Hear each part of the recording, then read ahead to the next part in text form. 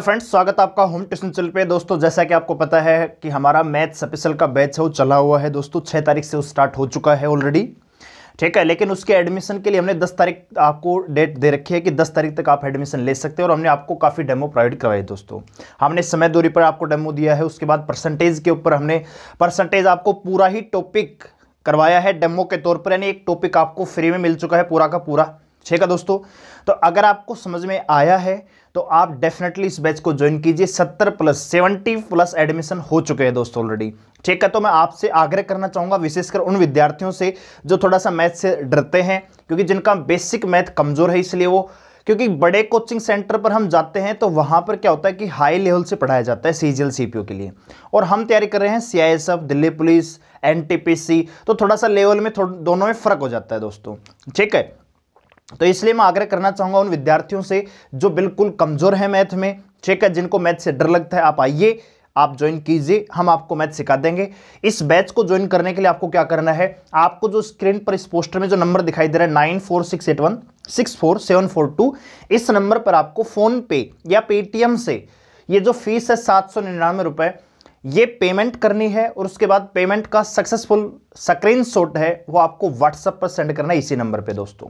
ठीक है? सात सौ निन्यानवे रुपए पूरे कोर्स की है मंथली नहीं है दोस्तों। पूरे कोर्स की फ़ीस है। इसके अलावा हम आपको व्हाट्सएप ग्रुप में लिंक देंगे वीडियोस का डेली एक से डेढ़ घंटे की वीडियो रहेगी दोस्तों और इसके साथ हम डेली आपको प्रैक्टिस के लिए पीडीएफ भी प्रोवाइड करवा रहे हैं दोस्तों। यानी आप वीडियो देखिए उसके बाद खुद की प्रैक्टिस कीजिए। मैथ ऐसा हो जाएगा कि कमज़ोर से कमज़ोर कमज़ोर से कमज़ोर बच्चा भी 25 में से सीआईएसएफ की बात करें तो 25 में से 15 से 18 क्वेश्चन जो अभी कर रहा था, पंद्रह तो क्वेश्चन वो करता है जिसको ठीक ठाक मैथ एवरेज जो होता है अपने आप में, ठीक है?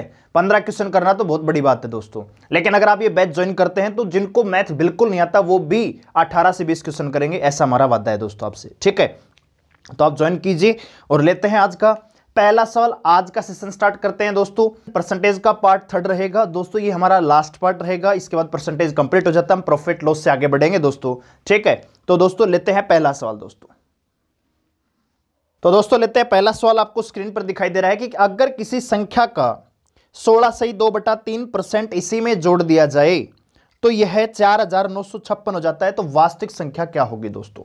तो अगर इस सवाल को हम बेसिक से कर रहे होते तो हम कर रहे होते भी मानना संख्या बराबर, मानना संख्या बराबर क्या है भाई? एक्स अब सवाल के अकॉर्डिंग क्या करें कि इसी संख्या में इसी का यानी इसी संख्या में इसी का 16 सही दो बटा तीन परसेंट एड कर देना। तो एक कुल मिलाकर जो परिणाम है, ये चार हज़ार नौ सौ छप्पन हो जाता है दोस्तों। अब आप क्या कर रहे थे दोस्तों? 16 सही दो बटा तीन का मतलब होता है एक्स प्लस में एक्स गुणा में। 16 सही दो बटा तीन का मतलब क्या होता है दोस्तों? एक बटा छः होता है। यानी अल्टीमेट आपको इसको एक बटा छह लिखना होता। ठीक है दोस्तों? चार हज़ार नौ सौ छप्पन दोस्तों। अब आप क्या कर रहे होते? छह कम छः और एक सात। यानी सात एक्स बराबर बटे छः बराबर चार हज़ार नौ सौ छप्पन आता। सात से कटता है सात सात उनचास ज़ीरो आठ। एक्स का मान यहाँ पे कितना आता दोस्तों? छह गुणा में सात सौ आठ। तो बयालीस, अड़तालीस इस सवाल का आंसर आता। यानी वो संख्या क्या है? बयालीस, अड़तालीस है दोस्तों। तो ये तो है इसका बेसिक तरीका। लेकिन अगर डायरेक्ट करें तो टॉपिक में हम परसेंटेज पढ़ रहे हैं तो परसेंटेज को ही यहाँ पे ध्यान में रखते हुए सवाल को सोल्व करेंगे। परसेंटेज दी हुई दोस्तों, सोलह से ही दो बटा तीन परसेंट इसका मतलब है दोस्तों, एक बटा छह। मैंने आपको बताया कि ये नीचे वाला जो नंबर होता है, ये दर्शाता है वास्तविक संख्या को। किसको दर्शाता है दोस्तों? वास्तविक संख्या को दोस्तों। ठीक है? और ये जो दर्शाता है, इसका परसेंट रिज़ल्ट होता है, परिणाम होता है। यानी मैं कहूँ कि छह का सोलह सही दो बटा तीन कितना होता है दोस्तों? तो आप कहेंगे, सर, छह का सोलह सही दो बटा तीन कितना होता है? एक होता है।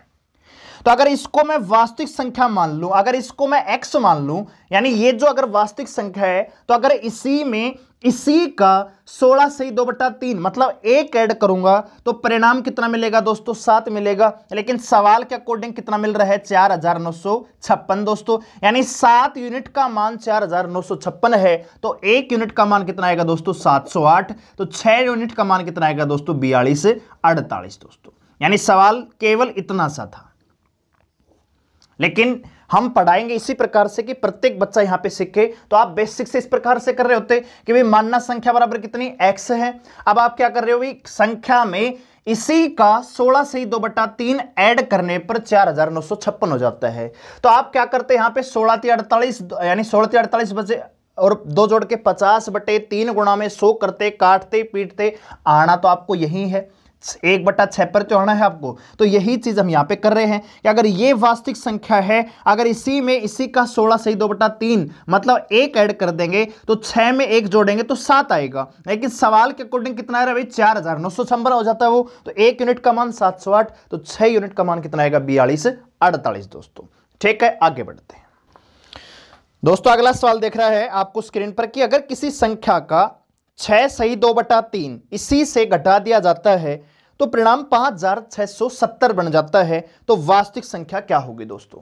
तो हम यहाँ पे डायरेक्ट करेंगे, जैसे पिछला सवाल क्या था, इस प्रकार से आप घटा देंगे, उसमें एक्स का मान निकाल देंगे। लेकिन यहाँ पे दिया क्या है दोस्तों? छह सही दो बटा तीन परसेंट। ठीक है दोस्तों? तो यहाँ पे हम क्या कर लिख सकते हैं? छह सही दो बट्टा तीन परसेंट को हम लिख सकते हैं, एक बटा पंद्रह। कैसे? छह अठारह दो बीस। भाई, बीस बटे तीन। परसेंट हटाएँगे बटे में सो लगेगा कि नहीं लगेगा? तो बीस से कम बीस बीस पंजे सो कितना बनेगा? एक बटा पंद्रह बनेगा। अगर पंद्रह यहाँ पे दोस्तों वास्तविक संख्या है, अगर पंद्रह वास्तविक संख्या है और सवाल में कह रहा है कि संख्या में इसी का छह से ही दो बटा तीन परसेंट घटा देते हैं, यानी पंद्रह में इसी का छह से दो बट्टा तीन मतलब एक घटा देंगे तो जो मान आएगा वो कितना आएगा दोस्तों? चौदह यूनिट। लेकिन एक्चुअल में कितना दिखा रखा है सवाल में दोस्तों? पाँच हज़ार छह सौ सत्तर दोस्तों। तो एक यूनिट का मान कितना आएगा दोस्तों? चौदह चौक छप्पन यानी चार सौ पाँच आएगा। आपसे पूछा है संख्या क्या होगी? ठीक है दोस्तों तो संख्या निकाल देंगे चार सौ पाँच गुणा में पंद्रह। ठीक है दोस्तों तो साठ पिछहत्तर इस सवाल का क्या जाएगा? आंसर आ जाएगा। ठीक है दोस्तों, आगे बढ़ते हैं।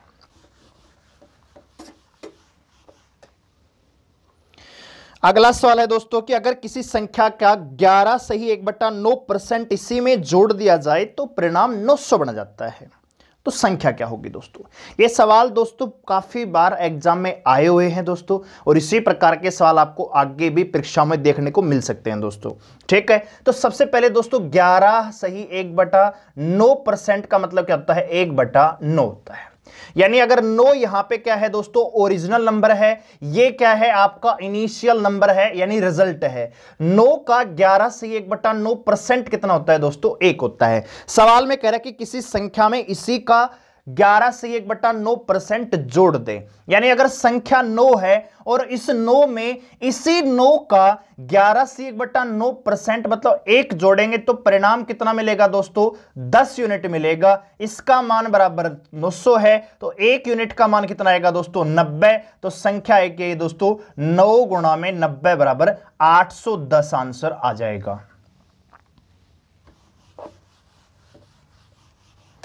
अगला सवाल लेते हैं दोस्तों, कि कह रहा है कि अगर किसी संख्या में चौसठ जोड़, अगर किसी संख्या में चौसठ जोड़ दिया जाता है तो संख्या एक सौ सत्तावन से ही एक बटा सात परसेंट हो जाती है। तो संख्या ज्ञात कीजिए। यानी किसी संख्या में चौसठ जोड़ देते हैं तो वह अपने आप का एक सौ सत्तावन से एक बटा सात परसेंट हो जाता है दोस्तों। तो बेसिक से कैसे कर रहे होते हैं दोस्तों, कि मानना मानना संख्या बराबर भाई कितनी? एक्स सवाल में कहा है कि इस संख्या में, इस एक्स में अगर चौसठ जोड़ते हैं ना दोस्तों तो यह अपने आप की, ये अपने आप की एक सही एक बटा सात परसेंट हो जाती है दोस्तों। ठीक है? तो दोस्तों, आप क्या कर रहे होते? X प्लस में चौसठ बराबर। अब एक को, एक सही एक बटा सात परसेंट को फ्रैक्शन में बदल रहे होते। भाई, आप क्या करते? एक सौ सत्तावन गुणा में सात प्लस में एक बटे सात गुणा में सो कर रहे होते। अगर आपने हमारा परसेंटेज का पहला पार्ट देखा है तो इसमें इतना करने की आवश्यकता नहीं है। मैंने आपको बताया था यहाँ पे कि ये इसको हम लिखेंगे 100 और इसको हम अलग लिखेंगे सत्तावन से एक बटा सात परसेंट। तो 100 परसेंट का मतलब कितना होता है दोस्तों? एक, और सत्तावन से एक बटा सात, किसका मतलब है दोस्तों? चौदह सही दो बटा सात का ये कितना है? चार गुणा है। तो कितना आएगा दोस्तों? चार बटा सात। तो सात एक कम सात, और चार कितना दोस्तों? ग्यारह। यानी यहाँ पे आप कैलकुलेट निकाल रहे ग्यारह एक्स अब इस एक्स को इधर लेके जाएँगे तो ग्यारह में सात गई चार एक्स चार एक्स बटे सात बराबर चौसठ आता तो यहाँ पे आता चार एक कम चार, सोलह। एक्स का मान कितना आता दोस्तों? सोलह सात एक सौ बारह इस सवाल का आंसर आ रहा था। ऐसे आप कर रहे होते दोस्तों। लेकिन दोस्तों शॉर्ट तरीके से कैसे करेंगे आपको ऐसे नहीं करना है। देखो, एक सौ सत्तावन सही एक बटा सात परसेंट को क्या लिख सकते हैं दोस्तों? ग्यारह बटे सात। यानी ये जो है, एक बटा सात का चार गुणा है, बाकी कुछ नहीं है दोस्तों। ठीक है? तो अब यहाँ पे क्या कर रहा है दोस्तों? अगर ये क्या है, वास्तविक संख्या होती है, ये नीचे वाला क्या होता है? वास्तविक संख्या होती है दोस्तों। और ये क्या है आपका? परिणामी संख्या है ये, यानी इनिशियल नंबर परिणामी संख्या। ठीक है? कह रहा कि किसी संख्या में चौसठ जोड़ देते हैं तो यह अपने आपका एक सौ सत्तावन से एक बटा हो जाता है। यानी सात का एक सौ सत्तावन से एक बटा कितना है दोस्तों? ग्यारह। यानी सात में मैं कितना जोड़ूं कि ये ग्यारह हो जाए तो आप कहेंगे, सर, चार जोड़ना पड़ेगा। लेकिन एक्चुअल में सवाल में कितना जोड़ रहा है? चौसठ। तो अगर चार का मान चौसठ है तो एक का मान कितना दोस्तों? सोलह। ओरिजिनल नंबर पूछा है तो सात का मान कितना आएगा दोस्तों? एक सौ बारह। इस सवाल का क्या हो जाएगा? आंसर हो जाएगा दोस्तों।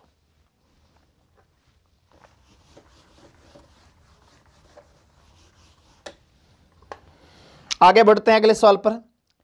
ठीक है अगर किसी संख्या में 930 जोड़ दिया जाए तो यह संख्या चार चार सौ चौवालीस सही, चार बटा नौ परसेंट हो जाती है। तो वास्तविक संख्या क्या होगी दोस्तों? तो हम इस सवाल को डायरेक्ट करेंगे। चार सौ चौवालीस सही, चार बटा नौ परसेंट का मान क्या होगा? सबसे पहले तो ये आपको पता होना चाहिए दोस्तों। तो इसको मैं तोड़कर लिखूँगा।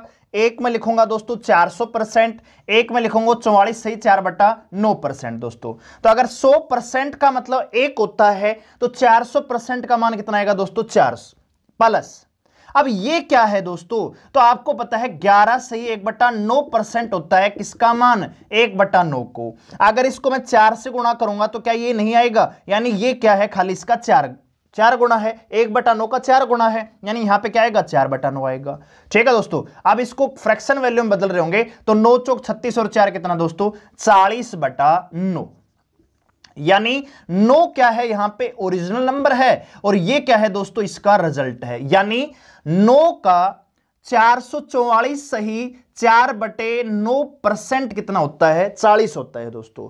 तो मैं नौ में कितना जोड़ूं कि ये चालीस बन जाए? आप कहेंगे, सर, नौ में तो इकतीस जोड़ना पड़ेगा। लेकिन एक्चुअल में सवाल में कितना जोड़ रखा है दोस्तों? 930 इकतीस यूनिट का मान 930 है। एक यूनिट का मान आएगा 30 सवाल में पूछा है, संख्या क्या होगी? तो नौ का मान कितना आएगा दोस्तों? दो सौ सत्तर। इस सवाल का आंसर आएगा। आगे बढ़ते हैं दोस्तों, अगले सवाल पर। कह रहा है कि अगर किसी संख्या में 16 जोड़ दें तो रिज़ल्ट संख्या का 116 सही दो बटा तीन परसेंट हो जाता है दोस्तों। तो सबसे पहले 116 सही दो बटा तीन परसेंट को ही फ्रैक्शन में लिखते हैं। तो दोस्तों, ये होता है 100 और ये होता है 16 सही दो बटा तीन परसेंट। तो ये हो जाएगा एक प्लस में। अब देखो 16 सही दो बटा तीन का मतलब क्या होता है दोस्तों? एक बटा छह होता है। कैसे? सोलह तीन अड़तालीस दो पचास बटे सौ करेंगे, बटे तीन रहेगा, एक बटा छह आएगा। कैलकुलेट करेंगे, छह कम छह और एक सात बटा छह। यानी ये क्या है आपकी वास्तविक संख्या है। ये क्या है भाई? वास्तविक संख्या है और ये क्या है दोस्तों? परिणामी संख्या है। ये क्या है?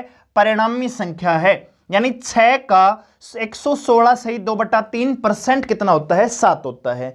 तो छह को सात करने के लिए कितना ऐड करना पड़ेगा? एक ऐड करना पड़ेगा दोस्तों। लेकिन सवाल में कितना ऐड कर रहा है दोस्तों? 16 यानी एक यूनिट का मान अगर 16 है तो छह यूनिट का मान कितना आएगा दोस्तों? छियानवा जाएगा। और अगर कहे वर्तमान संख्या कितनी हो जाएगी तो सोलह गुणा में सात कर देंगे, एक सौ बारह हो जाएगी। यानी छियानवे का सौ सोलह सही दो बटा तीन परसेंट कितना होता है? एक सौ बारह होता है। कब? जब आपने सोलह इसमें ऐड किया था। ठीक है? तो आपसे पूछा है, संख्या क्या होगी? तो संख्या क्या है दोस्तों? छियानवे इस सवाल का आंसर आ जाएगा। आगे बढ़ते हैं अगले सवाल पर।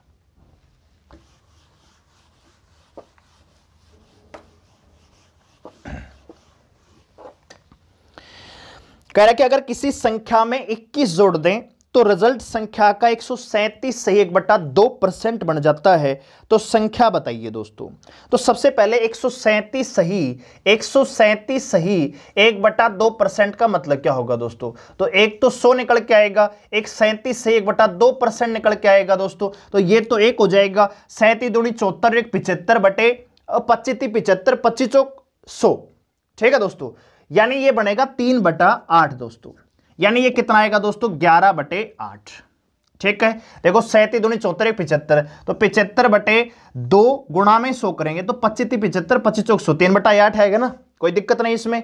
दूसरा, ये तो आप डिटेल से कर रहे होते दोस्तों, लेकिन आपको याद रखना चाहिए कि एक बटा दो है वो किसकी कैलकुलेशन में आता है दोस्तों?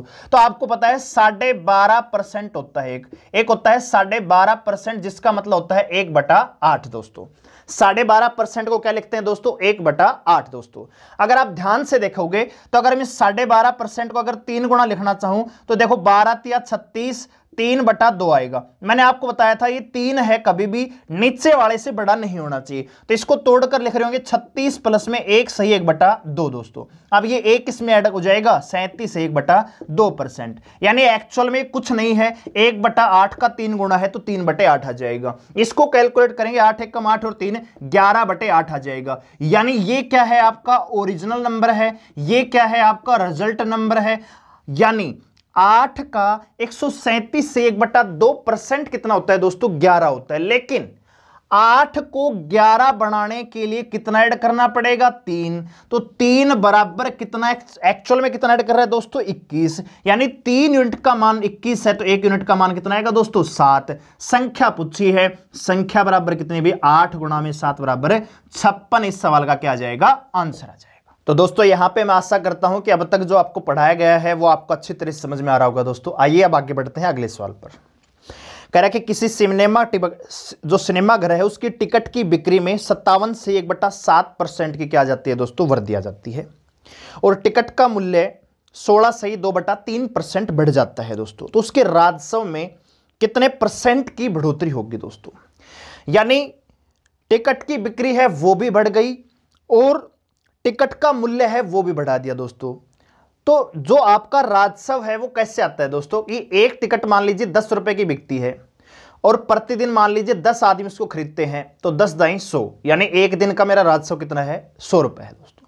लेकिन अगर मैं टिकट का मूल्य भी बढ़ा दूँ और खरीदने वालों की संख्या भी बढ़ जाए तो मेरा जो राजस्व होगा, जो मेरी इनकम होगी रेवेन्यू होगा, वो भी तो क्या होगा दोस्तों? बढ़ेगा दोस्तों। तो यहाँ पे क्या पूछा आपसे? कंपेरिजन पूछा है दोस्तों। तो सबसे पहले सत्तावन से एक बटा सात परसेंट।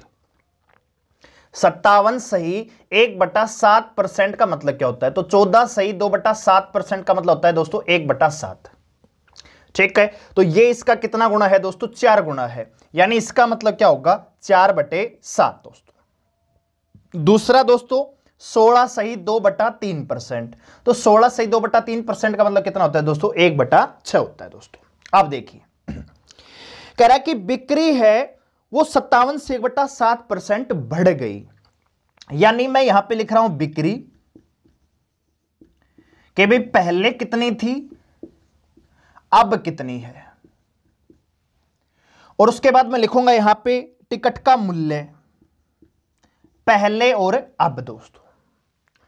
तो कह रहा है कि टिकट की जो बिक्री है ना, जो पहले सात हुआ करती थी, जो पहले सात हुआ करती थी बिक्री, अब वो चार ज़्यादा होती है। भाई, सात में सत्तावन से बटा सात परसेंट बढ़ गई। यानी जो टिकट मेरी पहले सात बिका करती थी, आज वो चार ज़्यादा बिकती हैं। यानी अब कितनी बिकती हैं, दोस्तों? ग्यारह। और टिकट का मूल्य है वो भी मैंने 16 से ही दो बटा तीन परसेंट बढ़ा दिया। इसका मतलब अगर टिकट का मूल्य पहले अगर छह रुपए रहा करता था तो आज उसमें एक का इजाफा हो गया। तो अब वो कितने की हो रही होगी दोस्तों? सात रुपए की टिकट मिल रही होगी। यानी इसका मतलब ये हुआ कि छह रुपए की टिकट सात बिक रही थी। यानी प्रति टिकट अगर छह रुपए का रेट है तो सात टिकटों का मूल्य कितना हो जाएगा दोस्तों? बयालीस रुपए।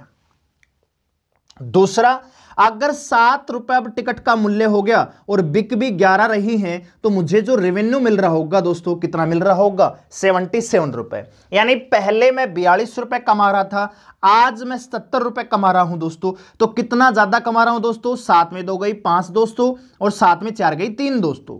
ठीक है, यानी पैंतीस। पैंतीस रुपए ज़्यादा कमा रहा हूँ कितने पर दोस्तों? बयालीस पर। तो सौ पर कितना दोस्तों? कैलकुलेट कर देंगे। सात पंजे पैंतीस, सात छक्की बयालीस। अब देखिए दोस्तों, यहाँ पर ये आपको अब पर आगे कैलकुलेट करेंगे, आप 500 बटे छह करेंगे। ऐसे नहीं करना। ये तो बहुत टेढ़ा हो जाएगा यहाँ पे। आपको देखना कि एक बट्टा छह किसमें आता है? एक बट्टा छह ये है ना? भाई, एक बटा छह का मान आपको अगर पता है, सोलह से ही दो बटा तीन होता है तो पाँच गुना करना है इसका। परसेंट के लिए तो सौ लगाते हैं, उसमें तो अलग बात नहीं है। ठीक है तो इसका पाँच गुना करेंगे दोस्तों, अस्सी प्लस में दस बटे तीन आएगा। तो इसको लिख सकते हैं, दस बटा तीन को तीन सही, एक बटा तीन, यानी तिरासी सही एक बटा तीन परसेंट की क्या आएगी दोस्तों? रेवेन्यू में वृद्धि हो जाएगी। ठीक है दोस्तों, बात आई समझ में कि जो चीज़ पहले मैं बयालीस रुपए कमा रहा था, आज मैं सत्तर रुपए कमा रहा हूँ। कितने ज़्यादा भाई? पैंतीस। पैंतीस बटे बयालीस गुणा में सौ करेंगे। अब सात पंजे पैंतीस, सात छक्की बयालीस, यानी पाँच बटा छह परसेंट। क्या होता है दोस्तों? तिरासी से, यानी गुणा में सौ कर रहे होंगे ना, पाँच सौ बटे छह है ये। तो इसको हम क्या भी लिख सकते हैं? तिरासी से एक बटा तीन परसेंट भी लिख सकते हैं दोस्तों। आशा करता हूँ ये चीज़ आपको समझ में आई होगी।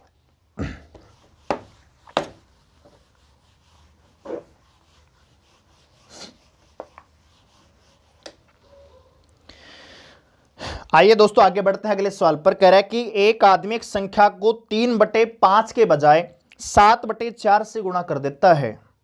तो उसके राजस्व में, यानी उसके जो रिज़ल्ट है संख्या का, उसमें कितने परसेंट का बदलाव आएगा दोस्तों? यानी कोई संख्या थी, उससे मुझे गुणा तो करना था तीन बटे पाँच से भाई, और मैंने मान लीजिए कर दिया गुणा कितने से? सात बटे चार से।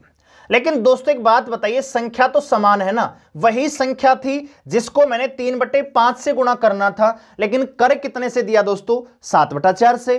तो आपको क्या करना है? एक ऐसी संख्या सोचनी है जो पाँच और चार दोनों से भाग जाती हो कैलकुलेशन को आसान करने के लिए।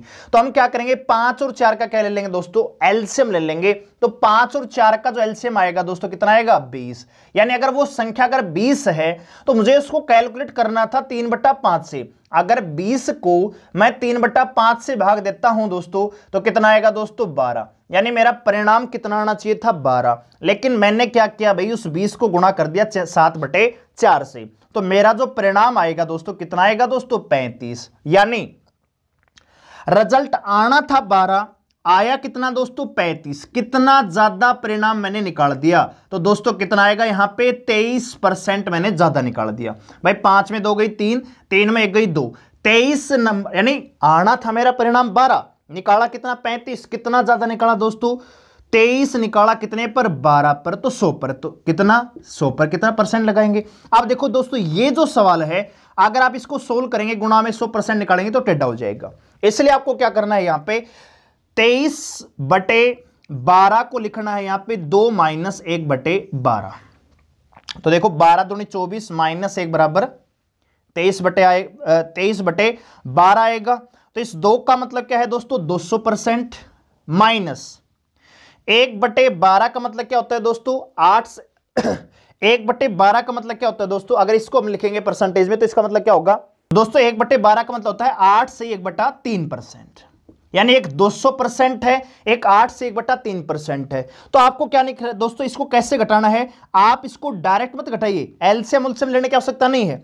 आप एक बड़ी संख्या घटाइए। यानी आठ से जस्ट बड़ा नंबर क्या है दोस्तों? नौ। तो 200 में से नौ घटाएँगे दोस्तों, कितना आएगा? एक सौ इक्यानवे। अब इस तीन में से एक घटा देंगे तो दोस्तों कितना आएगा? दो बट्टा तीन दोस्तों। यानी एक सौ इक्यानवे सही दो बट्टा तीन परसेंट इसने ज़्यादा मार्क निकाल दिया। रिज़ल्ट है वो एक सौ इक्यानवे से दो बटा तीन परसेंट। ज़्यादा निकाल दिया दोस्तों। ठीक है, आगे बढ़ते हैं। अगला सवाल लेते हैं दोस्तों। अगला सवाल है कि एक छात्र को एक संख्या को पाँच बटा तीन से गुणा करना था, लेकिन इसने कर दिया कितने से दोस्तों? तीन बटा पाँच से। यानी करना था गुणा कितने से दोस्तों? पाँच बटा तीन से। कर दिया कितने से? तीन बटा पाँच से। तो संख्या क्या होगी दोस्तों? तो सबसे पहले तीन और पाँच का एल्सियम कितना दोस्तों? पंद्रह। यानी संख्या थी पंद्रह। ठीक है, संख्या तो बराबर रहेगी, संख्या तो एक ही है, लेकिन करना था गुणा तीन, पाँच बटा तीन से, कर दिया कितने से? तीन बटा पाँच से। अगर पाँच बटे तीन से करता तो मेरा रिज़ल्ट आता दोस्तों पच्चीस, लेकिन कर दिया मैंने पाँच से, यानी आएगा कितना दोस्तों? नौ। गुणा करना था पाँच बटे तीन से, कर दिया कितने से? तीन बटा पाँच से। रिज़ल्ट जो मेरा आना पच्चीस था वो अब आ रहा है कितना दोस्तों? नो। कितना कम आ रहा है? सोलह कम आ रहा है। सोलह कम आ रहा है पच्चीस पर। तो सौ पर कितना दोस्तों? तो आएगा चौसठ परसेंट। मैंने क्या कर दिया दोस्तों? परिणाम में कमी कर दी। चौसठ परसेंट की क्या कर दी दोस्तों? परिणाम में कमी कर दी। ठीक है? आशा करता हूँ कि ये सवाल आपको समझ में आया होगा। आइए आगे बढ़ते हैं। अगला सवाल है दोस्तों, वैसे तो हमने चिन्ह के ऊपर जो सवाल है, वो सेकंड पार्ट में डिस्कस कर लिए हैं, बहुत ही अच्छे से। अगर आप नहीं देखा है तो आप जाइए चैनल पे, आपको वीडियो मिल जाएगा। परसेंटेज पार्ट सेकंड फ़र्स्ट भी है, वो भी देख सकते हैं अगर आपने नहीं देखा है तो सेकंड पार्ट में जाइए। मूल्य की वृद्धि ईटी से संबंधित हमने सवाल उसमें सॉल्व किए हैं, आपको समझाए हैं दोस्तों, ठीक है? लेकिन फिर भी यहाँ पे थोड़े से अलग प्रकार के सवाल हैं तो इनको भी देखना ज़रूरी है दोस्तों, क्योंकि ये एग्ज़ाम ओरिएंटेड सवाल है। कह रहा है कि चीनी की कीमत में तीस परसेंट की कमी आने से खपत में कितने परसेंट की वृद्धि की जाएगी कि खर्च में केवल 10 परसेंट की ही कमी हो? यानी अभी तक जो हमने सवाल डिस्कस किए थे, वो इस प्रकार से थे कि अगर मान लीजिए चिन्नी के मूल्य में 20 परसेंट की कमी आ जाती है तो मुझे खपत में कितने परसेंट की वृद्धि करनी होगी कि मेरा जो खर्चा है वो बराबर रहे? कैसे? कि अगर मान लीजिए चिन्नी का मूल्य अगर यानी मेरे पास मान लीजिए दोस्तों चालीस रुपए है मेरे पास कितने रुपए है दोस्तों? चालीस रुपए है। अगर मान लीजिए आज चिन्ने का जो भाव है, जो चिन्ने का भाव है, मान लीजिए अगर आज चिन्नी मुझे आठ रुपए प्रति केजी मिल रही है तो मुझे कितनी चिन्नी मिलेगी दोस्तों? पाँच केजी। लेकिन अगर चिन्नी का मूल्य दोस्तों घट जाए, पाँच रुपए प्रति केजी हो जाए तो मैं चिन्नी कितने लेके आऊँगा दोस्तों? आठ रुपए प्रति केजी। बात आ रही कि नहीं समझ में? यानी मैं क्या चाह रहा हूँ कि मेरा खर्चा केवल कितना हो? चालीस रुपए का हो। तो अगर चालीस रुपए ही मेरे पास है और अगर चिन्नी का भाव आठ रुपए है, तब तो मैं पाँच किलो चीनी लेके आऊँगा। और अब चिन्नी का भाव कम हो गया तो मैं ज़्यादा चीनी लेके आऊँगा। यस और नो तो सवाल में भी कुछ इसी प्रकार की स्टेटमेंट है। आपको स्टेटमेंट को ध्यान से समझना है। क्या कह रहा है कि चिन्नी की कीमत तीस परसेंट घट गई दोस्तों? तो खपत में कितने परसेंट की वृद्धि करनी पड़े कि खर्च में केवल दस परसेंट की कमी आए? यानी खर्च है वो अपरिवर्तित नहीं है। उसमें केवल इतना चाहता है कि केवल 10 परसेंट की ही खर्च में क्या आई दोस्तों? कमी आई। तो देखो दोस्तों, इस सवाल को हम कैसे कर रहे होंगे?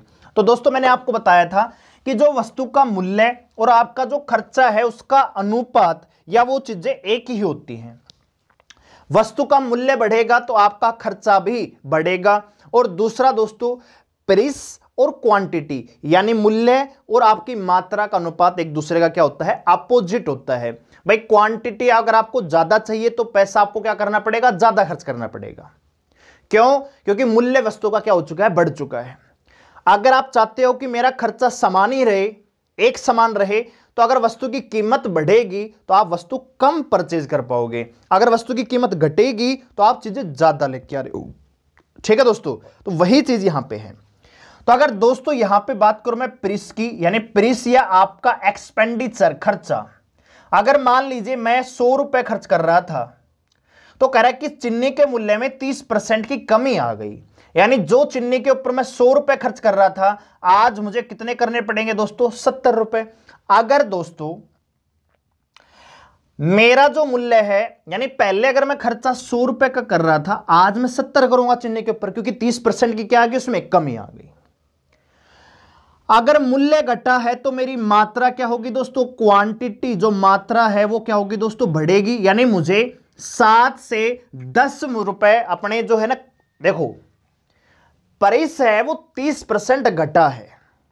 यानी इस चीज़ को हम ऐसे समझते हैं कि मूल्य और मूल्य भाई, पहले और अब भाई। तो पहले देखो, तीस परसेंट का मतलब कितना होता है? तीन बटा दस होता है। यानी अगर पहले मूल्य दस था तो आज तीन घट गया, कितना हो जाएगा? सात। इसका मतलब जो आपकी मात्रा है, जो पहले आप सात लेके आ रहे थे, आज कितने लेके आओगे? दस लेके आओगे। पहले अगर आप सात लेके आ रहे थे, आज दस लेके आओगे, कितना ज़्यादा लेके आओगे? तीन बटा सात, दोस्तों। बात आ रही समझ में? तो वही चीज़ मैं आपको यहाँ पर समझाने की कोशिश कर रहा हूँ कि जो चीज़ प्रीस अगर सौ से सत्तर हुआ है तो आपकी क्वांटिटी सत्तर से सौ होनी चाहिए। तो कितना होगा दोस्तों? तीस बटे सत्तर। लेकिन वो कब होगा? जब आपका खर्चा कितना हो रहा हो? सौ रुपए का। लेकिन वो ही कह रहा है कि खर्चे में तो केवल दस परसेंट की ही कमी आनी चाहिए। यानी परिवार चाहता है कि सौ रुपए खर्चा ना करके दस परसेंट कम खर्चा करें। यानी नब्बे खर्च, यानी नब्बे ही रुपए खर्च करें। तो सत्तर से हमें कहाँ जाना पड़ेगा? नब्बे पे। तो कितना ज़्यादा लेना पड़ेगा दोस्तों? बीस बटे सत्तर। अगर सौ रुपए चाहता तो तीस बटे सत्तर। लेकिन परिवार चाहता है कि दस परसेंट की कमी आए बस केवल। तो यानी सत्तर से हमें नब्बे की ओर जाना होगा। यानी अगर किसी चीज़ का मूल्य नौ से सात हुआ है तो मेरी क्वांटिटी सात से क्या होगी? नौ होगी। वही सेम चीज़ यहाँ पे कर रहे हैं। क्यों? क्योंकि यहाँ पे सौ नहीं चाहता परिवार। परिवार चाहता है कि खर्चा केवल नब्बे का आए। बात आगे समझ में? तो दोस्तों, दो से गुणा में सौ परसेंट निकाल देंगे दोस्तों यहाँ पे। तो दो बटे सात का मान कितना होता है? अट्ठाईस सही, दो बटे सात परसेंट की क्या करनी पड़ेगी दोस्तों आपको? वृद्धि करनी पड़ेगी। आगे बढ़ते हैं दोस्तों, अगले सवाल पर कह रहे हैं कि चिन्ह की कीमतों में 20 परसेंट की वृद्धि हुई। तो चिन्ह की कीमत में वृद्धि होगी दोस्तों तो आप चीज़ें क्या कर पाओगे? कम खरीद पाओगे। ठीक है?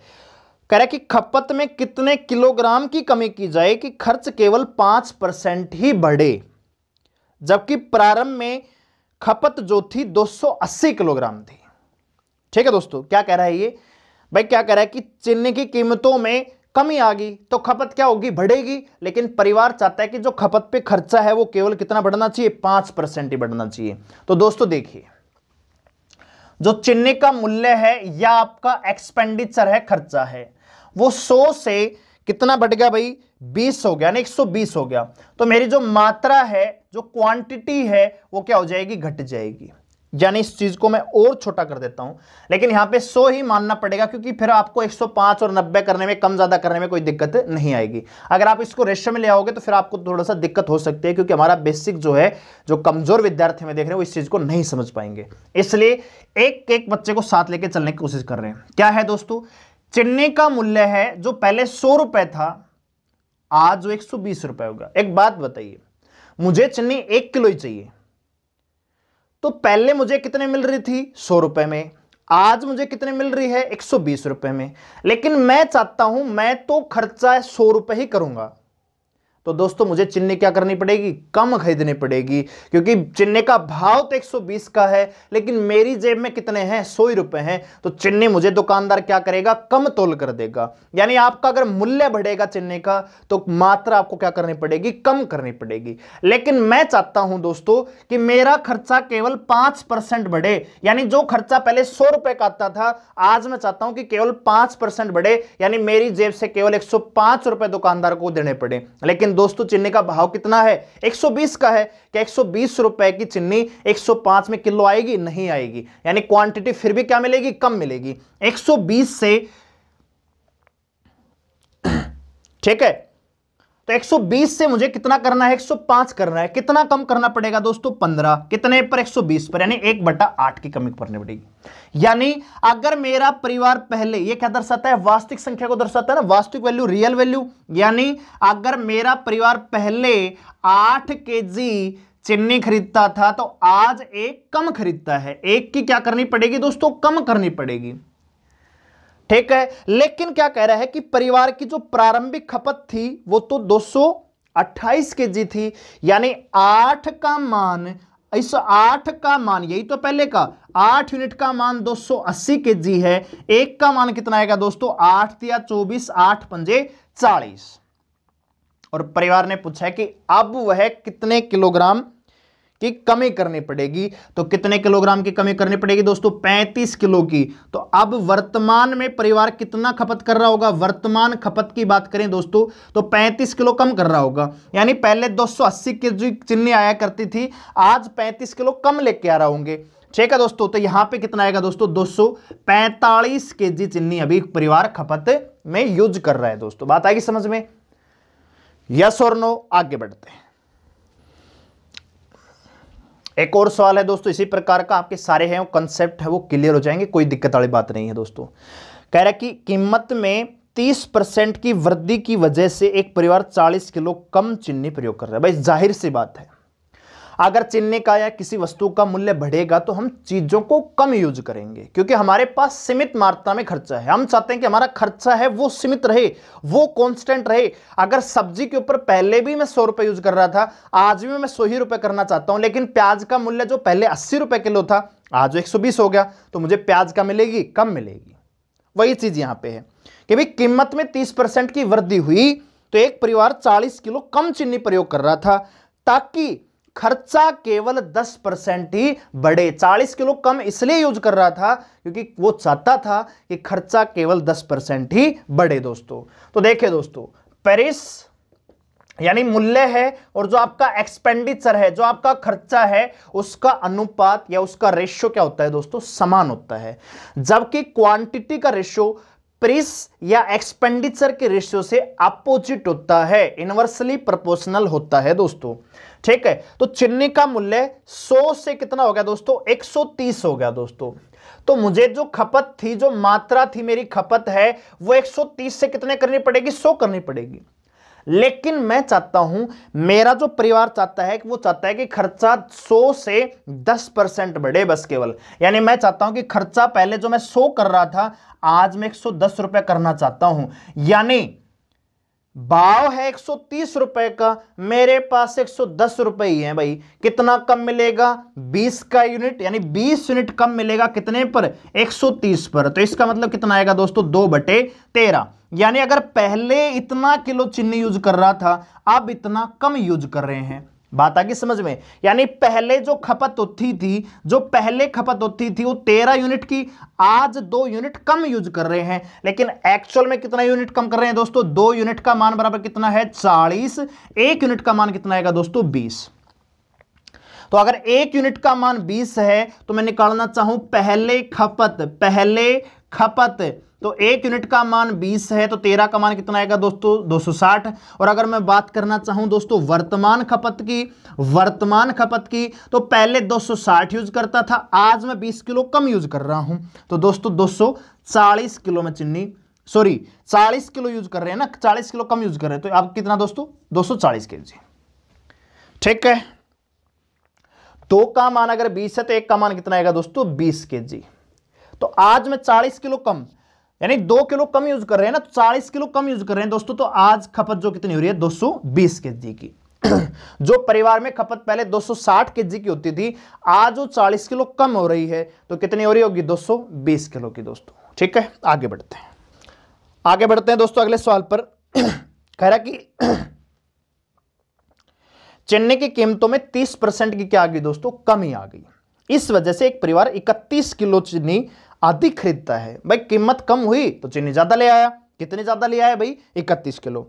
ताकि खर्च केवल 16 परसेंट ही कम हो। तो ताज़ा खपत ज्ञात करो। ठीक है दोस्तों? तो देखिए कीमत, यानी चीनी की जो कीमत है, वो 30 परसेंट कम होगी। यानी जो पहले मेरा खर्चा सौ रुपए का होता था चिन्नी के ऊपर, वो अब तीस रुपए कम होता है। यानी कितना खर्चा होता है दोस्तों? सत्तर रुपए। अगर खर्चा कम हो रहा है तो मेरी मात्रा क्या करूँगा? मैं बढ़ाऊँगा। लेकिन मैं चाहता हूँ खर्च सौ रुपए का ना होके सोलह परसेंट कम हो। तो 16 परसेंट कम होगा तो जो खर्चा मेरा पहले 100 का था, आज मैं कितना करना चाहता हूँ दोस्तों? मात्र चौरासी रुपए का। यानी जो चीज़ मुझे 70 की मिलनी है, वो मैं चौरासी रुपए में खरीदना चाहता हूँ। बात समझ में आ रही है? भाव है सत्तर का, मेरे पास चौरासी रुपए है भाई। तो कितना ज़्यादा मिलेगी दोस्तों? चौदह। कितने पर? सत्तर पर तो एक बटा पाँच। यानी अगर पहले खपत पाँच की थी तो अब मैं इतना ज़्यादा खरीद पा रहा हूँ इस कमी की वजह से। तो एक यूनिट का मान कितना है दोस्तों? इकतीस। तो पाँच यूनिट का मान कितना आएगा दोस्तों? यानी पहले खपत पहले खपत इकतीस गुणा में पाँच दोस्तों। तो पाँच एकम पाँच, एक सौ पिचपन के जी जो पहले मेरा परिवार खपत यूज़ कर रहा था चेन्नई का एक सौ किलो था। आज मैं पाँच किलो, यानी आज मैं इकतीस किलो ज़्यादा खरीद पा रहा हूँ। तो वर्तमान खपत कितनी आएगी दोस्तों?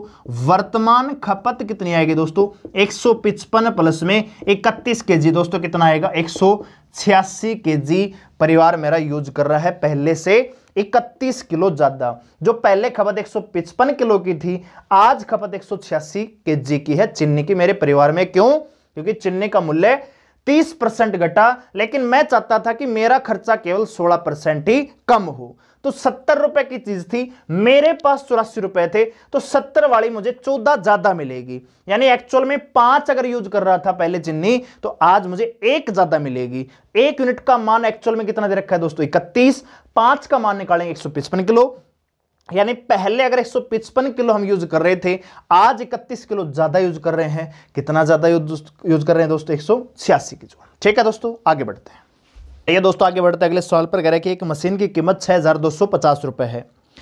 उस कीमत में, उसकी कीमत में पहले वर्ष दस परसेंट, दूसरे वर्ष में बीस परसेंट और तीसरे वर्ष में तीस परसेंट की कमी आ जाती है। तो तीन वर्ष बाद उस मूल्य, उस मशीन की जो कीमत है, वो कितनी रह जाएगी दोस्तों? तो अगर इसको बेसिक से करेंगे दोस्तों तो इसको करेंगे भी मानना मूल्य, अगर वर्तमान मूल्य अगर छह हज़ार दो सौ पचास रुपए है तो पहले वर्ष कह रहा है कि 10 परसेंट की वृद्धि आई। यानी आप कर रहे होंगे छह हज़ार दो सौ पचास गुणा में एक सौ दस बटे सो। कि अगर कोई चीज़ सो थी तो आज 10 परसेंट की वृद्धि होगी 110 होगी। दूसरे वर्ष उसमें कमी आई, यानी कमी आई है। दस परसेंट की अगर कमी आई तो दोस्तों कितनी रह जाएगी? नब्बे। दूसरे वर्ष में बीस परसेंट की कमी आई, यानी दूसरे वर्ष अगर कोई चीज़ सौ है, बीस परसेंट की कमी आ गई तो कितनी रहेगी? वो अस्सी रह जाएगी। ठीक है, तीसरे वर्ष दोस्तों अगर कोई चीज़ सौ थी तो फिर से कितनी कमी आ गई तीस परसेंट नहीं सत्तर रहेगी। इस प्रकार से आप कैलकुलेट कर रहे होंगे। डायरेक्ट कैसे करेंगे दोस्तों? इसको रेशियो मेथड से करेंगे। ठीक है, कैसे? देखिए। दस परसेंट का मतलब कितना होता है दोस्तों? एक बटा दस। बीस परसेंट का मतलब कितना दोस्तों? एक बटा पाँच। तीस परसेंट का मतलब कितना दोस्तों? तीन बटा दस दोस्तों। हम कर रहे हैं, पहले कीमत कितनी थी? भाई, मशीन की पहले कीमत और अब कीमत कितनी है? कह रहे कि पहले साल कीमत में 10 परसेंट की कमी आई। यानी अगर पहले साल वस्तु की कीमत 10 थी तो अब एक कम होगी। कितनी होगी दोस्तों? नो। एक साल बाद नो होगी। दूसरे वर्ष अगर उस वस्तु की कीमत दोस्तों पाँच रुपए रही तो उसमें फिर से एक की कमी आ गई, यानी कितनी हो जाएगी? चार दोस्तों। तीसरे वर्ष दोस्तों अगर वस्तु की कीमत दस है तो फिर से कमी आई तीन की कितनी हो जाएगी दोस्तों? सात की। ठीक है, आप अगर ये कट रहा है तो काट सकते हैं दोस्तों। नहीं तो यहाँ पे डायरेक्ट भी कर सकते हैं दोस्तों। ठीक है तो देखो दो दो चार, दो पंजे दस दोस्तों। ठीक है, इसके अलावा तो आप इसको कैलकुलेट करेंगे दोस्तों तो यानी यहाँ पे 250 आएगा, यहाँ पे करेंगे चौदह निमा एक यानी 126 आ जाएगा। यानी जो चीज़ पहले ढाई सौ रुपए की थी, आज वो एक सौ छब्बीस रुपए की रह गई है दोस्तों। आगे कटरा यहाँ पे काट सकते हैं। तो इसका मान दे रखा है दोस्तों 625 के। बात आ रही समझ में। 250 का जो मान है, छह आप स्कोर भी काट सकते हो, लेकिन आप ऐसे इस प्रकार से इसको काटिए ताकि इसके बराबर में आ जाए, कैलकुलेशन आसान हो जाए। तो 250 का मान अगर 6250 है तो 25 एम 625 होता है दोस्तों, यानी ये इतनी बार ही कटेगा। ठीक है 25 ठीक है, अब ये 126 है तो 126 को भी 25 से गुणा करेंगे दोस्तों तो आपका आंसर यहाँ पे आ जाएगा दोस्तों। बात आगे समझ में? तो इस प्रकार से हम कर रहे होंगे कि पहले साल अगर कीमत 10 थी, उसमें एक की कमी आई नौ। फिर पाँच हुई तो पाँच में बीस परसेंट की कमी आई। यानी एक की कमी आ गई कितनी रह जाएगी दोस्तों? चार रह जाएगी। तीसरे वर्ष की अगर बात करें दोस्तों तो यहाँ पे दस से तीन हुई। यानी दस से तीन कम हो गई तो दस से तीन कम होगी तो कितनी हो जाएगी दोस्तों? सात रह जाएगी। अब अगर आप आर पार काट रहे हैं तो कट सकता है। यहाँ पे कोई दिक्कत वाली बात नहीं थी। यहाँ पे और भी काट सकते थे हम। यहाँ पे दो पंजे दस भी काट सकते थे। तो यह आ जाएगा कितना दोस्तों? एक सौ पच्चीस यहाँ पे काटते दोस्तों तो नौ नौ सत्तर आ जाता दोस्तों यहाँ पे। ठीक है 125 को भाग देते छह हज़ार दो सौ पचास थे, फिर यहाँ पे तिरसठ को निकाल देते, आपका आसान आंसर आ जाता दोस्तों। ठीक है, आगे बढ़ते हैं। अगला सवाल है दोस्तों कि एक वस्तु के मूल्य में हर वर्ष, ये इसी प्रकार के सवाल दोस्तों, जनसंख्या वाले भी आते हैं। ठीक है सेम चीज़ यहाँ पे है। केवल डाटा का फ़र्क मिलेगा कि जनसंख्या इतनी है प्रत्येक वर्ष इतने वर्ष बढ़ती है, दस परसेंट बढ़ती है, बीस परसेंट बढ़ती है तो तीन वर्ष बाद जनसंख्या क्या होगी? तो सेम ही रेशियो मेथड से हम इस सवाल को कर सकते हैं दोस्तों। ठीक है? कह रहे कि वस्तु के मूल्य में हर वर्ष दस परसेंट की कमी आ जाती है। यदि वस्तु का वर्तमान मूल्य सात सौ रुपए है तो तीन वर्ष पहले उस वस्तु का मूल्य क्या रहा होगा दोस्तों? तो प्रत्येक वर्ष अगर 10 परसेंट की कमी आती है तो आप लिखेंगे 10 से 9 हुई वही 10 से 9 हुई वही फिर तीसरे वर्ष भी 10 से 9 हुई। ये हो जाएगा दोस्तों आपका 1000 ये हो जाएगा दोस्तों सात सौ उनतीस। यानी ये वर्तमान मूल्य है। ये क्या था भाई? पहले वाला मूल्य और ये क्या है दोस्तों? वर्तमान। तीन वर्ष बाद उस वस्तु की मूल्य कितना जाएगा दोस्तों? सात सौ उनतीस आ जाएगा। सवाल में भी क्या दे रखा है दोस्तों? सात सौ उनतीस यानी तीन साल पहले वस्तु का कीमत कितना था? हज़ार रुपए। आज वो घट के कितना हो गया है? सात सौ उनतीस रुपए है। कितना परसेंट घटा है दोस्तों? तो सात सौ उनतीस घटा कितने में से? हज़ार में से। इसको घटाएँगे, बटे में हज़ार करेंगे, गुणा में सौ कर देंगे दोस्तों। ठीक है? लेकिन सवाल में पूछा है कि तीन वर्ष पहले उसकी कीमत कितनी थी? दोस्तों, कितना आएगा? हज़ार रुपए। अगला सवाल भी सेम ही है कि किसी मूल्य, किसी माल के मूल्य में 10 परसेंट वार्षिक की गिरावट आ जाती है। यदि यह तीन वर्ष पहले खरीदा गया हो तो इसका वर्तमान मूल्य पाँच हज़ार आठ सौ बत्तीस है। तो खरीदते समय इसका मूल्य क्या रहा होगा? सेम सवाल है जैसे अभी पिछला क्या है, आप कर सकते हैं दोस्तों। आगे बढ़ते हैं। अगला सवाल है कि किसी संपत्ति का मूल्य प्रति वर्ष पाँच परसेंट की दर से कम हो जाता है दोस्तों। यदि उसका वर्तमान मूल्य चार हज़ार, यानी चार लाख ग्यारह हज़ार पाँच सौ चालीस है तो तीन साल पहले उस वस्तु की कीमत क्या रही होगी? पाँच परसेंट का मतलब होता है दोस्तों, एक बटा बीस। यानी पहले कीमत अगर बीस थी तो फिर एक घटी उन्नीस, बीस से उन्नीस, बीस से उन्नीस दोस्तों। ठीक है? और तीन साल बाद, यानी उन्नीस का क्यूब बराबर चार लाख ग्यारह हज़ार पाँच सौ चालीस है तो बीस का क्यूब, यानी आठ हज़ार का मान हम निकाल देंगे दोस्तों। यानी ये सवाल भी आसान है, हम कर सकते हैं, खुद कर सकते हैं दोस्तों। अगला सवाल है कि यदि किसी मशीन के मूल्य में प्रति वर्ष पाँच परसेंट की कमी आ जाती है यदि उसका वर्तमान मूल्य दो लाख है तो दो वर्ष पहले उसका मूल्य क्या रहा होगा? तो यह भी सेम ही सवाल है, जैसा हमने पिछला किया था सेम उसी कंसेप्ट का सवाल है, आप खुद इस सवाल को कर लेंगे दोस्तों। आगे बढ़ते हैं। अब आते हैं दोस्तों चुनाव वाले संबंधित सवाल दोस्तों। देखते हैं कैसे करेंगे। आइए दोस्तों लेते हैं पहला सवाल यहाँ पे। स्क्रीन पर आपको दिख रहा होगा कि कह रहा है कि एक विधानसभा के चुनाव में एक उम्मीदवार को कुल वैध मतों का पिचपन परसेंट वोट मिलता है। उसमें कुल मतों के दो परसेंट ना अवैध घोषित कर दिए गए थे भाई। ठीक है? तद अनुसार यदि कुल मतदाताओं की संख्या दस हज़ार, यानी एक लाख चार हज़ार रही है तो उम्मीदवार के पक्ष में कुल कितने वोट पड़े दोस्तों? ठीक है? बात आगे समझ में? तो देखिए दोस्तों, अगर मान लीजिए चुनाव में कुल 100 लोगों ने वोट डाले हों, यानी कुल मत कितने हों दोस्तों? 100 तो कह रहा है कि 100 में से तो दो क्या कर दिए दोस्तों? अवैध घोषित कर दिए दोस्तों। इसका मतलब वैध कितने थे दोस्तों? अठानवे। यस और नो। और अठानवे का पिचपन परसेंट उसने प्राप्त किया है दोस्तों। अब इस सवाल को अगर यहाँ पे अगर परसेंट से रेशियो में निकालने की कोशिश करेंगे तो सवाल ये टेढ़ा हो जाएगा दोस्तों। इसलिए सवाल के डाटा के अकॉर्डिंग चलना ज़रूरी है दोस्तों। सवाल में क्या कह रहा है कि कुल मतों की संख्या दे रखी है आपको एक लाख चार हज़ार। यानी अगर कुल मान एक लाख चार हज़ार है तो इसका अट्ठानवे परसेंट निकालेंगे। भाई, पहले क्या निकालेंगे दोस्तों? अट्ठानवे परसेंट। क्यों?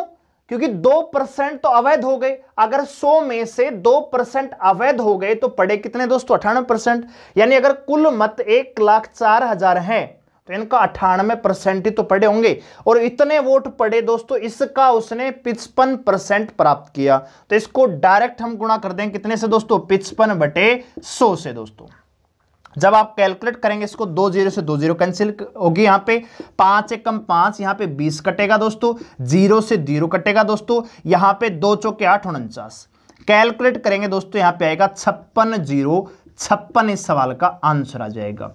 यानी उस व्यक्ति को जिसने चुनाव जीता है इस पिचपन परसेंट वाले को कितने वोट मिले? कुल मिलाकर छप्पन ज़ीरो छप्पन। इसलिए डाटा के अकॉर्डिंग सवाल को चलने की कोशिश करें।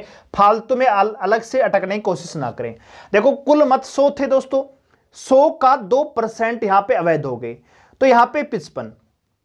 ठीक है एक यहाँ पे अगर दे रखा होता कितने मतों से जीता तब तो यहाँ पे इसको ग्राफ से कर सकते थे लेकिन अगर यहाँ पे ऐसा नहीं है तो आपको थोड़ा सा सीधा ही चलना पड़ेगा।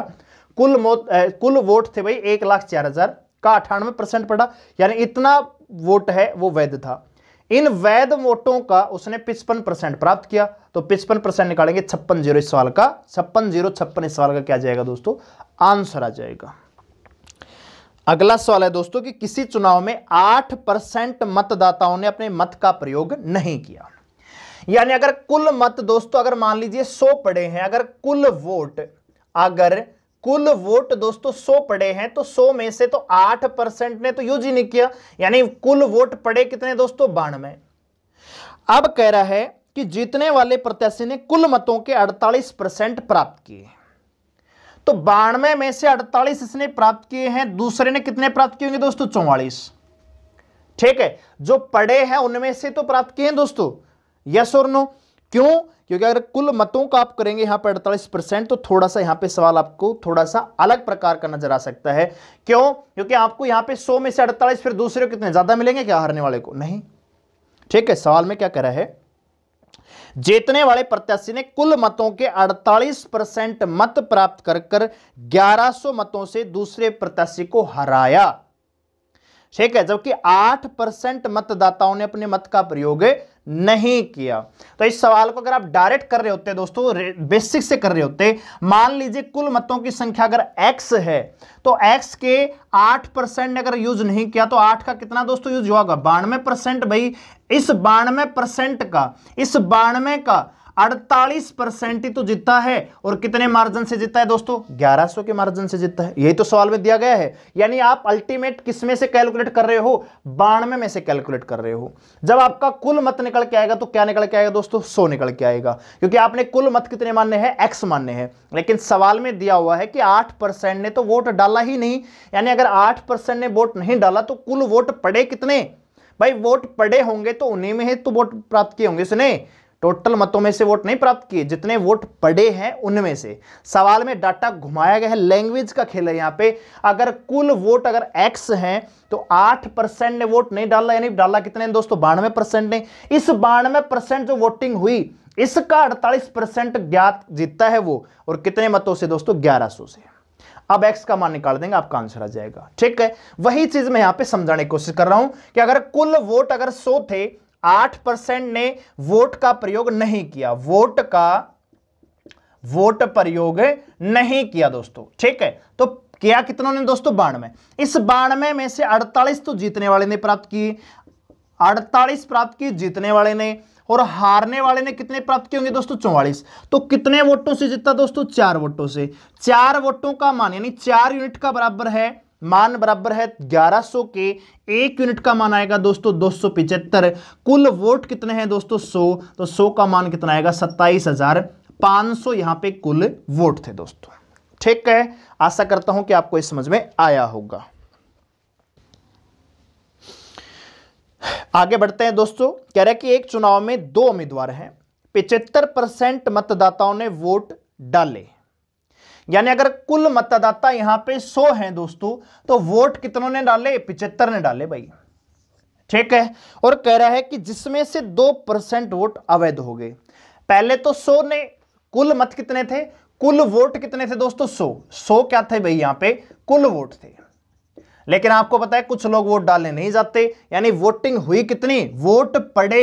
यानी वोट डाले गए कितने दोस्तों? पिचहत्तर। अगर कुल वोट मान लीजिए सौ है तो सौ में से केवल पिचहत्तर लोगों ने ही वोट का प्रयोग किया। लेकिन इस पिचहत्तर का भी दो परसेंट जो है अवैध घोषित कर दिया गया। एक उम्मीदवार को 9,261 वोट मिले जो वैध वोटों का पिचहत्तर परसेंट है। यानी पिचहत्तर का भी पिचहत्तर परसेंट तो पिचहत्तर का पिचहत्तर परसेंट यानी तीन बटा चार। अनुपात में जाएगा। और सवाल में पूछा है कि कुल वोटों की संख्या क्या होगी? तो यहाँ पे पिचहत्तर का पिचहत्तर परसेंट निकालेंगे, यानी तीन बटा चार निकालेंगे तो गुणा में पिचहत्तर करेंगे दोस्तों। फिर ये आएगा तीन पंजे पंद्रह, इक्कीस, दो सौ बाईस बटे चार आएगा, बराबर है कितने के दोस्तों? बानवे सौ इकसठ के। निकालना क्या है? सौ का मान तो गुणा में सौ कर देंगे, आ जाएगा। अगर ऐसे नहीं करना चाहते, क्योंकि ये सवाल ऐसे थोड़ा सा आपको टिपिकल लग सकता है तो आप डायरेक्ट कीजिए अपने बेसिक कंसेप्ट के साथ दोस्तों। कैसे? कि अगर मान लीजिए कुल वोट कुल वोट कितने हैं दोस्तों? मान लीजिए एक्स है। कुल वोट कितने हैं दोस्तों? एक्स एक्स में कुल वोट तो एक्स है, लेकिन पड़े कितना? एक्स का पिचहत्तर परसेंट। एक्स का पिचहत्तर परसेंट वोट पड़े भाई, गुणा। ये जो वोट पड़े हैं, इनका दो परसेंट अवैध हो गए। ये जो वोट पड़े हैं दोस्तों, इनका दो परसेंट अवैध हो गए तो फिर वैध वोट कितने दोस्तों? अट्ठानवे परसेंट दोस्तों यस और नो गुणा। इसने जो प्राप्त किया है नौ हज़ार दो सौ बासठ दोस्तों, नौ हज़ार दो सौ इकसठ वोट जो प्राप्त किए हैं, ये बराबर है कुल वैध वोटों के पिचहत्तर परसेंट के, यानी इसका भी पिचहत्तर परसेंट। अब आप इसको सोल्व कर रहे होंगे एक्स बराबर बानवे, इकसठ गुणा में सौ, गुणा में सौ, गुणा में सौ कर रहे होंगे, बटे कितना आएगा? पिचहत्तर पिचहत्तर गुणा में अट्ठानवे। कैलकुलेट करेंगे दोस्तों तो आप इस सवाल को सोल्व कर जाएँगे दोस्तों।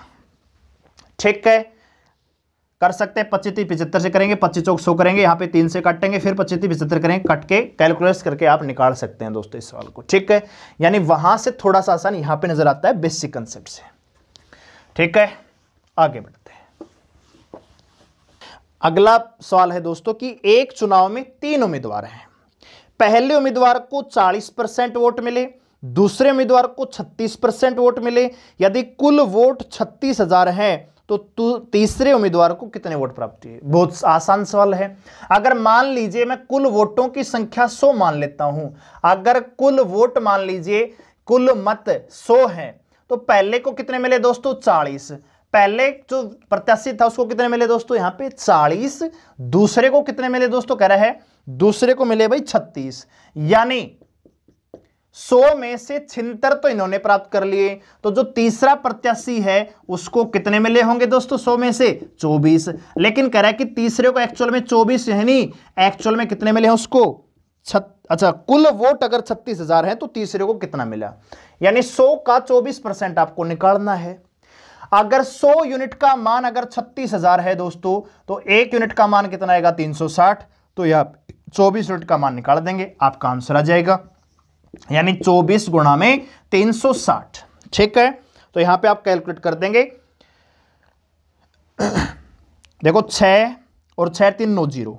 यानी इसको कैलकुलेट करेंगे तो यूनिट डिजिट आपका डिजिटल सम है वो छह आना चाहिए। तो वो संख्या जिसमें यूनिट डिजिट छह आ रहा होगा। ठीक है? तो आपका आंसर यहाँ पे आठ से चौदह चार अठारह, नौ, छह चार दस। आप इसको कैलकुलेट भी कर देंगे तो भी आपका आंसर आ जाएगा ना डिजिटल सम से भी आप इस सवाल को कर सकते हैं। ठीक है दोस्तों? यानी वो आंसर आएगा जिसका डिजिटल सम ज़ीरो होगा।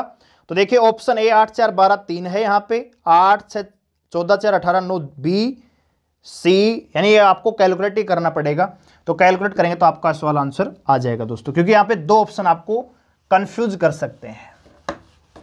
डिजिटल सम से, लास्ट के टू डिजिट से आप सवालों को सोल्व कर सकते हैं कैलकुलेशन को। ठीक है? लेकिन जब दो ऑप्शन आपको कंफ्यूज करें, दोनों का डिजिटल सम समान हो, तब आपको कैलकुलेशन वहाँ पे करना ही पड़ेगा। ठीक है दोस्तों? आगे बढ़ते हैं। कह रहा है कि संसदीय चुनाव में दो उम्मीदवारों ने चुनाव लड़ा। जीतने वाले उम्मीदवार को कुल वोटों का सत्तावन परसेंट प्राप्त हुआ, तथा वह बयालीस हज़ार वोटों से जीत गया। तो चुनाव में कुल कितने वोट डले दोस्तों? तो अगर मान लीजिए कुल वोट यहाँ पे सौ पड़े दोस्तों, कुल वोट, भाई कुल वोट कितने थे? सौ थे। एक को कितने मिले सौ में से? सत्तावन। इसने जीत लिया भाई। जीतने वाले को कितने मिले? सत्तावन। तो हारने वाले को कितने मिलेंगे दोस्तों? यानी तैतालीस परसेंट। कितने मिले होंगे दोस्तों? तैतालीस। हारने वाले को कितने मिले होंगे? तैतालीस। आगे क्या कह रहा है कि बयालीस हज़ार वोटों से जीतता। यानी हारने वाले को मिले तैतालीस, जीतने वाले को मिले सत्तावन। कितने ज़्यादा मिले दोस्तों? यहाँ पे चौदह। चौदह का, यानी चौदह यूनिट से वो जीता चौदह मतों से जीता लेकिन एक्चुअल में कितने से जीता भाई? बयालीस हज़ार से। एक यूनिट का मान कितना आएगा? तीन हज़ार। तो कुल वोट कितने आ जाएँगे दोस्तों? यहाँ पे तीन लाख। वोटों की कुल संख्या यहाँ पे कितनी है दोस्तों? तीन लाख। कैसे? हारने वाले को तैतालीस मिले भाई, जीतने वाले को सत्तावन। कितना ज़्यादा जीत रहे ये चौदह? एक्चुअल में कितना ज़्यादा ले रहे? बयालीस। चौदह यूनिट का मान अगर बयालीस हज़ार है, एक यूनिट का मान कितना आएगा? तीन हज़ार। कुल वोट कितने होते हैं? सौ। तो तीन हज़ार गुणा में सौ करेंगे बराबर, तीन लाख आपका आंसर आ जाएगा। दोस्तों, अब लेते हैं कुछ मिसलेनियस सवाल जो परसेंटेज में ही आते हैं, काफ़ी इंपोर्टेंट सवाल हैं तो आइए लेते हैं पहला सवाल यहाँ पे। पहला सवाल आपको दिख रहा है, यहाँ पे मिश्रण से है, लेकिन थोड़ा सा अलग टाइप का सवाल था, इसलिए अलग रखा है मैंने इसको एक शीशा अयस की खान में धातुओं की प्रतिशतता साठ परसेंट है। यानी एक शीशा अयस की खान है, उसमें धातु कितनी निकलती है भाई? साठ परसेंट। अब धातुओं में चांदी की प्रतिशतता रजत का मतलब क्या होता है? चांदी। तो चांदी की प्रतिशतता तीन बटा चार परसेंट है। धातु की तीन बटा चार परसेंट क्या है भाई? चांदी है। यदि खान से निकाले गए अयस्क का मान 8000 किलोग्राम है तो शीशे का द्रव्यमान क्या होगा? यानी शीशा कितना मिला भाई? यानी कुल अयस्क यहाँ पे निकल रहा है भाई। कुल जो अयस्क है, वो कितना निकला है दोस्तों? 8000 अब सबसे पहले बात करूँ धातु की तो धातु 8000 का 60 परसेंट है तो 60 परसेंट का मतलब कितना होता है दोस्तों? तीन बटा पाँच। बीस या साठ, बीस पंच साठ परसेंट का मतलब कितना होता है? तीन बटा पाँच। तो पाँच से कैलकुलेट करेंगे, पाँच एकम पाँच, यानी यहाँ पे कितना आएगा दोस्तों? अड़तालीस के जी यानी धातु इसमें से कितनी निकलती है? टोटल एस्क जो है, वो 8000 किलोग्राम निकलता है। लेकिन इस 8000 किलोग्राम एस्क में धातु केवल कितनी है दोस्तों? अड़तालीस 4800 केजी। और आगे कह रहा है कि चांदी, जो आपका रजत है, जो चांदी है दोस्तों, इस 4800 का तीन बटा चार परसेंट है दोस्तों। तो परसेंट हटाएँगे, सो लगेगा, ज़ीरो ज़ीरो, यहाँ पे 12 यानी 36 केजी क्या है दोस्तों? यहाँ पे चांदी है। टोटल एस के कितना था दोस्तों? आठ 8000 केजी। धातु कितनी है दोस्तों? 4800 केजी। इस 4800 केजी में 36 किलो तो चांदी है। तो शिस्सा कितना है दोस्तों यहाँ पे? तो शिस्सा कितना रह जाएगा? अड़तालीस सौ माइनस छत्तीस बराबर सैतालीस चौबीस। यानी सैतालीस चौसठ इस सवाल का क्या जाएगा दोस्तों? आंसर आ जाएगा। बात आएगी समझ में। भाई धातु की जो खान होती है, उसमें अयस्क यानी मिक्सिंग पदार्थ निकाला जाता है, उसमें धातु को अलग किया जाता है। फिर धातु में चांदी शीशा यानी अब्रक है, कार्बन है, या अलग अलग निकाले जाते हैं। तो यहाँ पे क्या हैं टोटल एस का 60 परसेंट धातु थी। तो धातु कितनी है दोस्तों? अड़तालीस सौ के जी इस धातु का तीन बटा चार परसेंट क्या है? चांदी है। तो कितना चांदी है दोस्तों? छत्तीस के जी अड़तालीस सौ के जी जो कुल धातु है, उसमें से छत्तीस के जी चांदी है। तो शीशा कितना बच जाएगा? अड़तालीस सौ माइनस छत्तीस बराबर सैंतालीस सौ चौसठ के जी क्या है यहाँ पे? शीशा है दोस्तों। दोस्तों, आगे बढ़ते अगले सवाल पर। अगला सवाल है कि एक मकड़ी एक घंटे में एक पोल के बासठ से एक बटा दो परसेंट की ऊंचाई तक चढ़ती है। फिर अगले घंटे में वह शेष ऊंचाई का साढ़े बारह परसेंट चढ़ती है। यदि पोल की कुल ऊंचाई एक सौ बानवे मीटर है दोस्तों तो दूसरे घंटे की चढ़ाई कितना मीटर है? मकड़े के द्वारा दूसरे घंटे में कितना मीटर की चढ़ाई यहाँ पे की गई दोस्तों? तो इस सवाल को दो प्रकार से हम करके देखेंगे। पहले मैं आपको बेसिक बताऊँगा, फिर हम आपको थोड़ा सा शॉर्टकट यहाँ पे दिखाएँगे दोस्तों। अगर यहाँ पे पोल की जो कुल ऊंचाई है दोस्तों, पोल की ऊंचाई दोस्तों आपको दे रखी है दोस्तों। कितनी है? एक सौ बानवे मीटर दोस्तों। पहले घंटे चढ़ती है बासठ से एक बटा दो परसेंट। तो दोस्तों, बासठ से एक बटा दो परसेंट है, ये क्या है? एक्चुअल में साढ़े बारह परसेंट का ये पाँच गुना है दोस्तों। और साढ़े बारह परसेंट का मतलब कितना होता है दोस्तों? एक बटे आठ। तो एक बटे आठ का पाँच पाँच गुना करेंगे तो दोस्तों कितना आएगा? पाँच बटे आठ। यानी साढ़े बासठ परसेंट का मतलब होता है पाँच बटे आठ दोस्तों। दूसरा साढ़े बारह परसेंट तो साढ़े बारह परसेंट का कितना होता है दोस्तों? एक बटे आठ होता है दोस्तों। सवाल में क्या कहा गया है? टोटल ऊंचाई एक सौ बानवे मीटर है। तो पहले घंटे, जो पहले घंटे इसके द्वारा चढ़ी गई है एक सौ बानवे का पाँच बटे आठ। कैलकुलेट करेंगे दोस्तों, आठ चौक बत्तीस, यानी 120 मीटर दोस्तों। पहले घंटे इस मकड़ी ने 120 मीटर की चढ़ाई की। अब कह रहा है कि दूसरे घंटे दूसरे घंटे इसने बची हुई ऊंचाई का, शेष ऊंचाई तो 120 मीटर चढ़ चुकी है दोस्तों तो बची कितनी दोस्तों? बेहतर मीटर। इस बेहतर मीटर का एक बटा आठ चढ़ी, यानी साढ़े बारह परसेंट चढ़ी है तो कितना चढ़ी हुई दोस्तों? नौ मीटर। एक तो ये तरीका है दोस्तों। बात आएगी नहीं समझ में? देखिए दोबारा। पोल की ऊंचाई कितनी दोस्तों? एक सौ बानवे मीटर। पहले घंटा चढ़ी एक सौ बानवे का बासठ से एक बटा दो परसेंट तो एक सौ बानवे का एक सौ बासठ यानी बासठ से एक बटा दो परसेंट निकालेंगे तो इसका मतलब पाँच बटे आठ होता है, यानी कितना चढ़ी हुई एक सौ बीस मीटर। पहले घंटे 120 मीटर चढ़ चुके हैं तो शेष ऊंचाई कितनी बची दोस्तों? बहत्तर मीटर। अब कह रहे हैं कि दूसरे घंटे शेष ऊंचाई का साढ़े बारह परसेंट चढ़ी है दोस्तों। तो साढ़े बारह परसेंट का मतलब कितना दोस्तों? एक बटा आठ। तो बेहतर का एक बटा आठ निकाल देंगे, कितना आएगा दोस्तों? नौ मीटर। दूसरा, अगर आप ऐसे नहीं करना चाहते तो देखिए दोस्तों, पहले घंटे चढ़ी है पाँच बटा आठ। दूसरा घंटा चढ़ी है एक बटा आठ, किसका? शेष बची हुई ऊंचाई का। तो ऐसे में क्या मानेंगे दोस्तों? आठ और आठ का मल्टीपल यानी चौसठ यूनिट अगर मैं हाइट मान लेता हूँ तो पहले घंटे पाँच बटा आठ, यानी कितना चढ़ी है दोस्तों? चालीस। तो बची कितनी होगी दोस्तों? देखो, पहले घंटे चढ़ी है वो पाँच आठ। तो बची कितनी दोस्तों? यहाँ पे चौबीस। अब चौबीस का एक बटा आठ निकालेंगे तीन यूनिट आएगा। ठीक है, यानी दूसरे घंटे वो तीन यूनिट चढ़ी है। चौसठ यूनिट जो ये टोटल हाइट है, ये चौसठ यूनिट है तो चौसठ का मान एक सौ बानवे है, यानी दुगुना है तो इसका भी दुगुना कर देंगे, यानी तीन का स्क्वायर करेंगे। ठीक है दोस्तों, यानी चौसठ यूनिट बराबर एक सौ बानवे है तो एक यूनिट बराबर कितना आएगा दोस्तों? तीन यूनिट। तो तीन यूनिट का मान गुणा तीन करेंगे तो नौ मीटर आएगा। तो आप देख पा रहे हैं, यहाँ पे थोड़ा सा ये सवाल क्या हो जाता है? कॉम्प्लेक्स कॉम्प्लेक्स हो जाता है, थोड़ा सा लेंदी हो जाता है। एक दो स्टेप यहाँ पे ज़्यादा लेनी पड़ेंगी, जबकि इसमें आप डायरेक्ट कर रहे थे। एक सौ बानवे का, पाँच बटे आठ कैलकुलेट किया 120 मीटर, बची बेहतर बेहतर का, एक बटा आठ बराबर नौ मीटर। ठीक है? तो हर जगह ट्रिक भी काम नहीं करती है कहीं कहीं आपका बेसिक चीज़ें हैं, वो आपको फास्ट आगे बढ़ाती हैं दोस्तों। ठीक है? तो डिपेंड करता है सवाल का डाटा क्या है दोस्तों।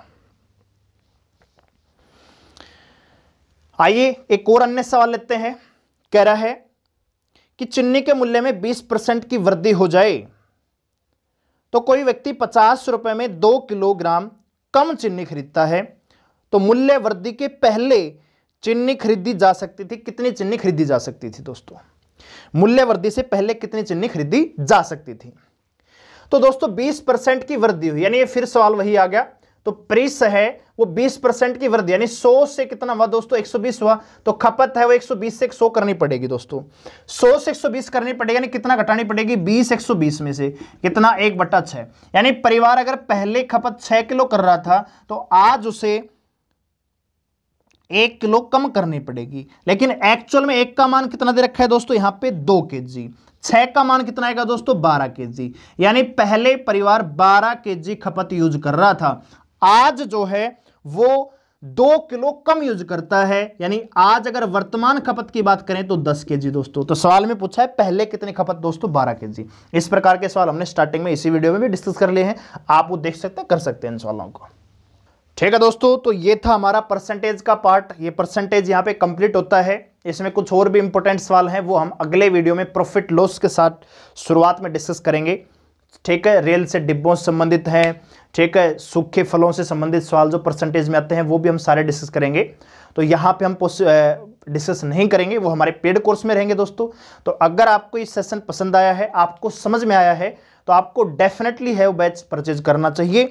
ठीक है दोस्तों आपने पूरी वीडियो को ध्यान से देखा होगा। अगर आपको लगता है कि यस, आपको समझ में आया है वीडियो, आपको ये लेक्चर समझ में आया है तो इसी प्रकार से हम आगे पढ़ाएँगे। आपको समझ में डेफिनेटली आएगा। हम पढ़ाते ही बिल्कुल ज़ीरो लेवल से हम ऐसे पढ़ाते हैं कि बच्चे को कुछ नहीं आता। हमारा मकसद ये नहीं है कि ज़्यादा से ज़्यादा स्टूडेंट्स को जोड़ना। हमारा मकसद है, जिन विद्यार्थियों को जोड़ा है, उनमें से ज़्यादा से ज़्यादा सिलेक्शन लेके जाएँ दोस्तों। हमारा मकसद केवल ये है। तो अगर आपको समझ में आया है तो आप ज्वाइन कर सकते हैं दोस्तों। ठीक है, कुछ बच्चों की डिमांड आई है मेरे पास कि। एक दो दिन बाद, दस तारीख के एक दो दिन बाद भी हम क्या एनरोल कर सकते हैं। तो बिल्कुल आप दस तारीख के बाद भी कर सकते हैं। लेकिन दोस्तों जितना आप लेट करेंगे, उतना ही आपको नुकसान है दोस्तों, ठीक है? फ़ीस कोई ज़्यादा नहीं है कि भाई मैंने आपसे तीन चार हज़ार रुपये मांग ली है जो है नहीं। ये सात सौ निन्यानवे रुपये फ़ीस है जो कि पूरे कोर्स की है, ठीक है? तो आप जल्दी से ज्वाइन करें लेट ना हो।